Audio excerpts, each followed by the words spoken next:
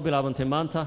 Waannuna wadi doonnaa usbuucyada soo socda ilaa afar iyo afartanka kursi ee hadhay ay dhammaadaan doorashada xildhibaanada golaha shacabka somalilanna ay ama gobollada qoyi ay soo gebagaboobaan. Sidoo kale waxaan rajaynayaa inay bilaabmi doonaan doorashada golaha shacabka ee xildhibaanada ka imanaya dowlad goboleedyada kale iyo sidoo kale banaadiriga oo gobolka banaadir ka imanaya si ay inoogu soo gebagabowdo doorashada golaha shacabka waxaan u hambalyaynayaa ammaanayaana diyaargarowga iyo dadaalka ay muujiyeen guddiga doorashada somalilan iyo guddiga doorashada heer federaal oo run ahaantii si wada jir ah uga shaqeeyey diyaarinta goobtan iyo in doorashadu maanta si nabad ah oo fiican oo hufan inoogu dhacdo. Waxaan ammaanayaa booliiska oo xarunta dugsiga tababarka booliiska kaahiya akaademiyada aynu ku qabsannay doorashadii inooguna dhici doonto halkan haddii ilaahay idamkiisa uu idmo. Waxaan aad u bogaadinayaa ammaanayaana doorka shariifka ah ee ra'iisul wasaaraha xukuumadda federaalka soomaaliya mudane maxamed xuseen rooble oo si hagar la'aan ah noogu gacan siiyey haddaannu nahay xildhibaanada somalilan u tartamaya iyo bahda somalilan guud ahaanba in doorashadu qabsoonto. Shalayna aad ogeedeen kormeer inuu ku yimid diyaarintii goobtanna gacan weyn ka gahaystay had iyo jeerna kala shaqeeya guddiga doorashada somalilan iyo heer federaal inay taabo gasho oo ay hirgasho doorashada somalilan. Waxaan leeyahay hambalyo guul baa inoo bilaabantay taariikhi ah. Hal shay baan idiin sheegayaa. Inta aanan xilka qaban ra'iisul wasaare ku-xigeenka waxaan ahaa waxaan ka shaqayn jiray doorashooyinka. Waddamo fara badanna aan u tegey goobjooge ahaan toddobiyo toban sannadood laba kun iyo kow ilaa laba kun iyo toddobiyo toban. Doorashooyinkan ka shaqaynayay doorashadu waa tubta keliya ee lagu kala nabadgeli karayo. Waa tubta keliya ee awoodda dowladnimo ee sharciga ah ama lagu cusboonaysiin karo ama lagu wareejin karo.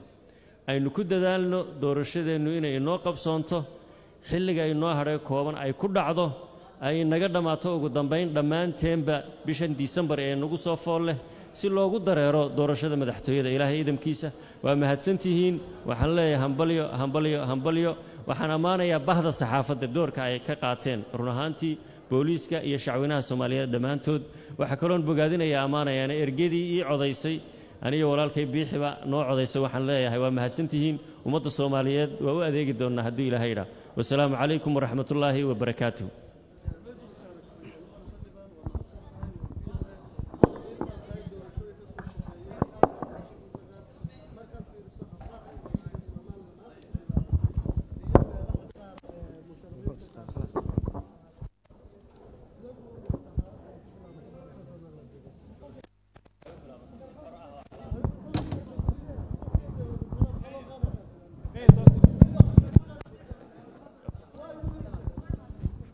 doorashada somalilan waxay ku bilaabantay sida aad ishaa macallina aad ka markhaatiga tahay si xor ah oo xalaalah diyaargarow leh tartanku furnaa.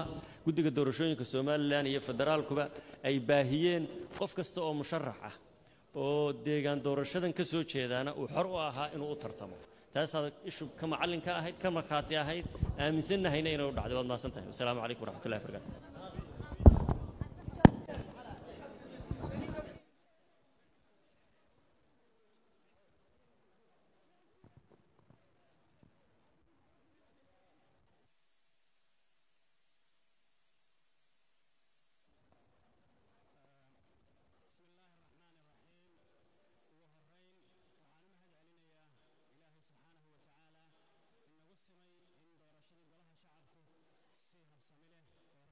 inoogu bilaabanto maanta oo taariikhdu tahay kowdii bishii koob iyo tobnaad labada kun iyo koob iyo labaatanka. Waxaan aad iyo aad sidoo kale u bogaadinayaa uguna mahad celinayaa hay'adaha ammaanka oo booliisku ugu horreeyo oo sugay amniga doorashada. Si habsamilana inoogu agaasimay doorashadan. Waxaan aad iyo aad sidoo kale u bogaadinayaa una hambalyaynayaa labada heer ee guddiga doorasho oo doorasho runtii hufan inoo agaasimay inoona hirgeliyey. Waxaan sidoo kale aanan ilaawi karin oo aan u hambalyaynayaa ama bogaadinayaa una mahadnaqayaa ergadii codkoodana siisay eena dooratay oo nagu aaminay mas'uuliyad culus muddaxuleedka baarlamanka koob iyo tobnaad ee afarta sanne ee soo socda. Waxaa maanta inoo bilaabmay doorasho doorashadii golaha shacabka waxaynu ogeyn in doorashadii guriga sare inteedii badnayd soo dhammaatay waxa aan rajaynayaa sidoo kale in deegaanada kalena doorashadu ka bilaabmi doonto si dadka soomaaliyeed ay fursad ugu helaan madax u adeegta muddaxileedka soo socda si looga baxo xilliga kala guurka ah ood mooddo inuu waxoogaa daba dheeraaday aad iyo aad bay muhiim u tahay in hay'adaha dowladdu adeegooda iyo waajibaadkooda dadka u qabtaan taasina muhiim bay ka dhigaysaa doorashadu inay wakhtigeeda ku dhacdo guud ahaanna dalka oo dhan ay ka dhacdo. Waa idiin mahadnaqayaa aad iyo aad baa u mahadsan tihiin saxaafaddana aad iyo aad baan ugu mahadnaqayaa